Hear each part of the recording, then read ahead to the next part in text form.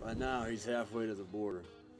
He's fast, I'll give him that. But hell, for five thousand dollars, I'll drag him to the sheriff myself. Chances are he set up camp there on one of the ridges. And if he's there? You shoot him.